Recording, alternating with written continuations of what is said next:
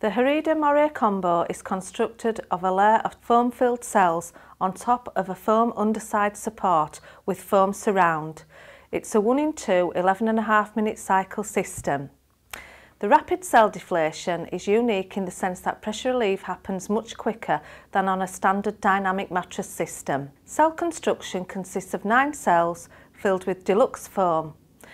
The cells alternate in an 11.5 minute cycle. What this means is that the one set of alternate cells deflate for five minutes, then start to inflate again to equalise with the other set of alternate cells for a minute and a half before the second set then deflate for 5 minutes, completing the 11 and a half minute cycle.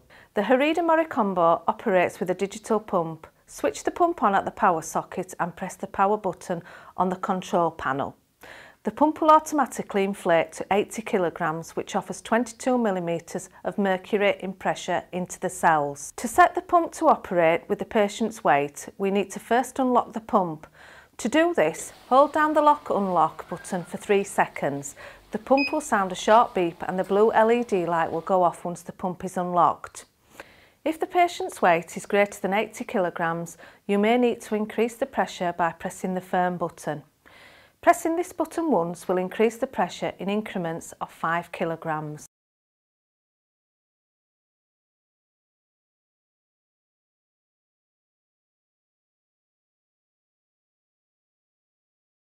To reduce the pressure, press the soft button. Again, this will reduce in increments of 5 kilograms. The pump is designed to offer ultra-low pressure delivery for lightweight, frail individuals, including paediatric patients. Pressing the static button on the pump's control panel will stop the alternation cycle and both sets of cells will remain fully inflated.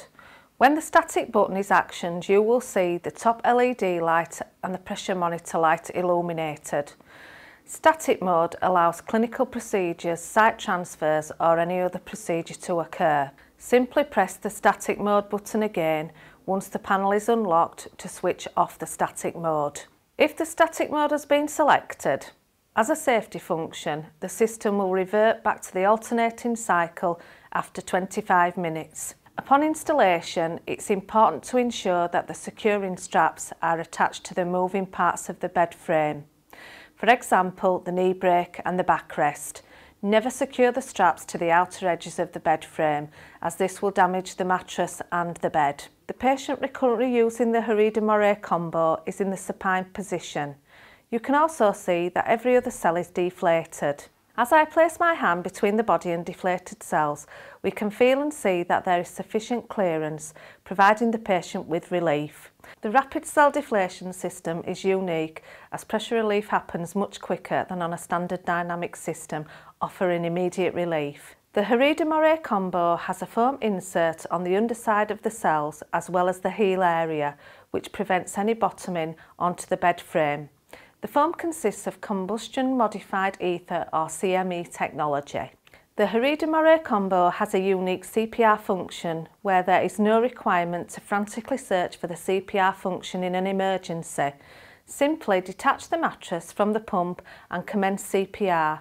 Due to the nature of the foam-filled cells under low pressure, CPR can also be administered while inflated. To convert the static mattress to a dynamic system, Remove the tube set connector from the foot of the mattress and connect to the pump. The Herida Moray combo comes with a troubleshooting guide on the front panel of the pump, indicating what to do in the event of any problems, whether that be a power cut or an alarm function or inappropriate cell operation. If the system has a power cut or power is removed from the system, an alarm will sound to indicate that there is a problem. If the pump has a kettle lead, it could simply be that the cable has become detached. In all cases, the first check should be that the power is connected and is also switched on. If the system is depressed as low as 6 millimeters of mercury for a period of 6 minutes, the alarm will sound. If during the course of all troubleshooting effects you still can't identify the problem, it is important to ensure the tubing on the cells is not kinked. The tubing is located on the side of the mattress where it delivers air to the cells. The tubes will be secured to the mattress by a small cable tie to ensure that they do not detach. Regular cleaning of the mattress is required and we provide cleaning instructions in the user manuals. Copies can also be supplied on request. Maintenance and repair work should only be carried out by an appointed engineer who has been trained by Herida Healthcare. Only original manufacturer parts should be used in any repairs as failure could affect the warranty. In all instances with any pressure relieving products, always ensure that you seek clinical guidance and use the product in accordance with manufacturer instructions. Thanks for watching. For further information, please feel free to contact ourselves directly.